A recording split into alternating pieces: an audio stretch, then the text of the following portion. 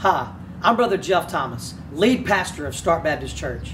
I want to invite you to join us this Sunday for the worship gathering at 10:30 a.m. We're going to be in John chapter 16.